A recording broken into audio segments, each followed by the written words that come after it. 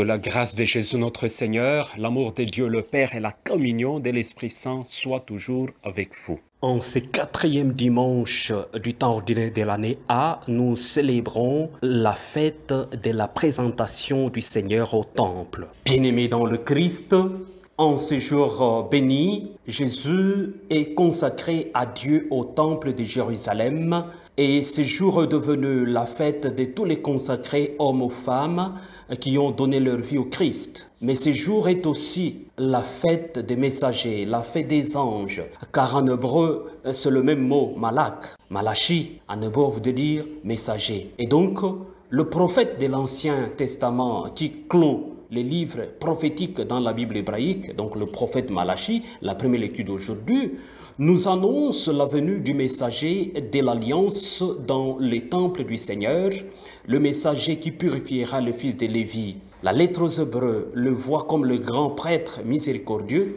d'une tribu de Lévi purifiée. Accueillir Jésus bien-aimé dans le Christ, c'est accueillir tout l'Ancien Testament et toute l'histoire sainte. Bien-aimé dans le Christ, après le retour d'exil et la reconstruction du temple, Malachi est désolé de voir si dégrader le culte chez le prêtre, chez les soi-disant pasteurs messagers, le fidèle ainsi que l'injustice toujours renaissante au sein du peuple. La question, comment Dieu pourrait-il accueillir les offrandes et les prières célébrées dans un tel contexte? Bien-aimé dans le Christ, le messager de l'Alliance viendra dans le temple, dit le prophète Malachi, pour dénoncer les infidélités d'Israël. Bien-aimés dans le Christ, aujourd'hui nous vivons dans un monde où le culte devient des cultes de personnalité. Comment Dieu, nous pouvons nous reposer cette question, comment Dieu pourrait-il accueillir nos prières,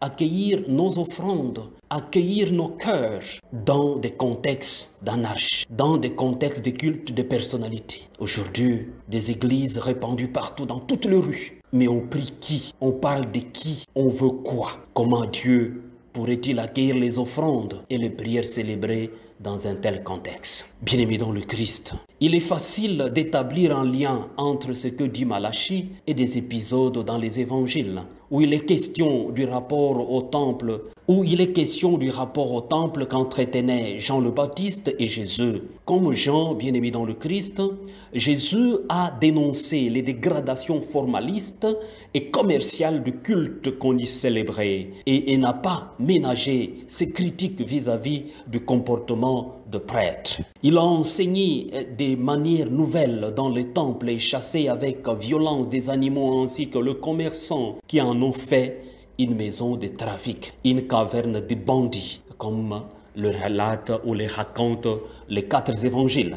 Bien-aimés dans le Christ. Ces contextes où le Christ Jésus lui-même dénonçait et continue à dénoncer à travers, à travers ces vrais prophètes les dégradations formalistes et commerciales du culte.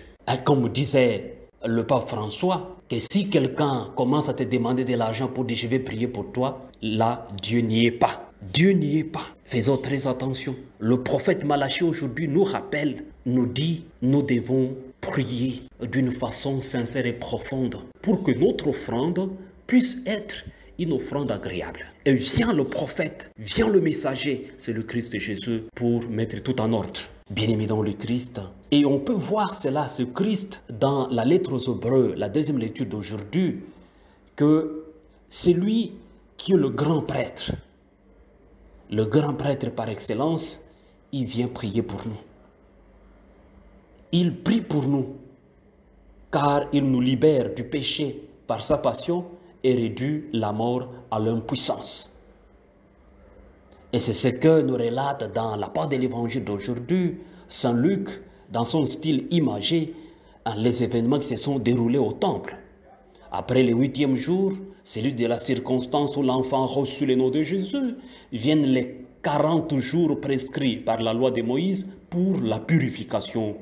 Hein. C'est ce que nous appelons la présentation du Seigneur au temple. Pour la purification, les parents de Jésus l'amènent à Jérusalem pour le présenter au Seigneur. Voilà. Ils viennent présenter les sacrifices d'un couple de tourterelles ou de deux petites calambes. C'était là l'offrande des pauvres. Bien-aimés dans le Christ, Avons-nous ces stratégies, mais surtout ces attitudes pieuses d'aller offrir au Seigneur le, le prémisse de notre travail, d'aller offrir au Seigneur ce que nous sommes, pour les parents, d'aller offrir au Seigneur leur enfant pour la bénédiction, être accueillis dans l'Église catholique, sainte et universelle, bien-aimés dans le Christ. La présentation du Seigneur au temple nous rappelle que les bénédictions sont toujours là. Le Christ Jésus nous bénit à travers sa passion, à travers sa mort, à travers sa résurrection, à travers sa vie parmi nous, à travers l'Eucharistie. Attends-nous pas pour être bénis, pour recevoir la bénédiction. Bien-aimé dans le Christ, Jésus est présenté comme un être humain, tout comme les autres avec une nature de chair et de sang, en tout semblable à ses frères et sœurs, semblable à Dieu, miséricordieux et fidèle. C'est là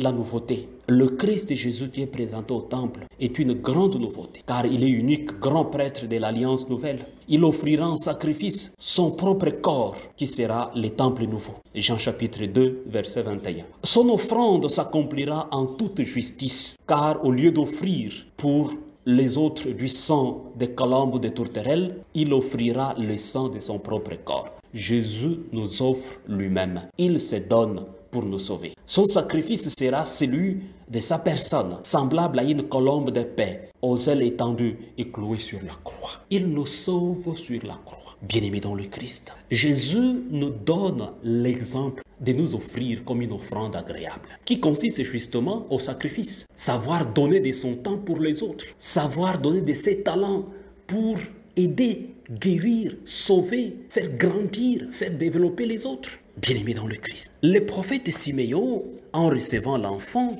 il conclut pour dire, mes yeux ont vu ton salut, que tu as préparé à la face de tout le peuple, lumière pour éclairer les nations païennes et gloire d'Israël, ton peuple. Voilà. Le prophète décrit comment se révèle ce salut. Les saluts, pas pour un petit groupe, mais les saluts pour tout le peuple de la terre, les saluts pour tout le monde. La merveille dans Dieu fait âme dans Dieu qui par sa mort libère du péché et de la mort, dépasse les frontières d'un peuple. Donc Jésus qui est présenté au temple, c'est un Jésus qui vit et qui guérit et qui travaille pour l'universalité. Abat le tribalisme, abat le clientélisme, abat le favoritisme, Jésus nous sauve. Il nous sauve, il nous invite à l'unité, bien-aimés dans le Christ. Ce dimanche, le 2 février, la présentation du Seigneur au Temple, c'est aussi la fête de tous les consacrés à travers le monde.